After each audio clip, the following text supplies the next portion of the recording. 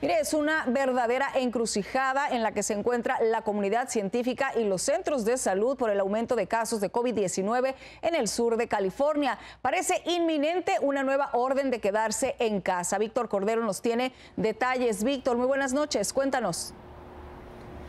Hola, ¿qué tal? Muy buenas noches. Los altos niveles de muertes y contagios de coronavirus dejan claro que como sociedad no hemos entendido que es momento de empezar a acatar los reglamentos de sanidad para evitar que este mortal virus siga azotando nuestras comunidades como lo ha venido haciendo las últimas semanas.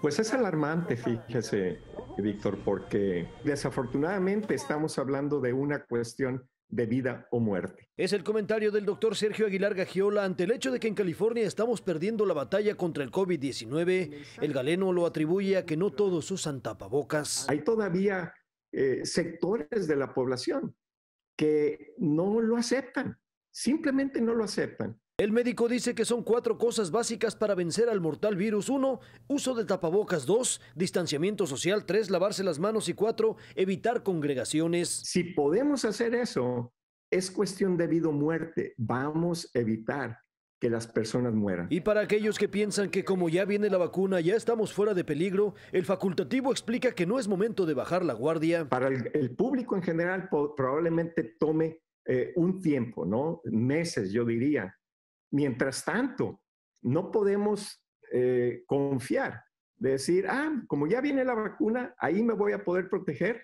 por lo tanto, no debo de utilizar cubrebocas.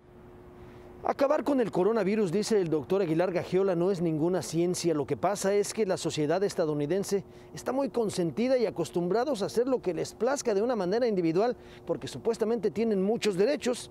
Eso, dice el doctor, deja claro que no tenemos ninguna responsabilidad como equipo y eso nos está matando.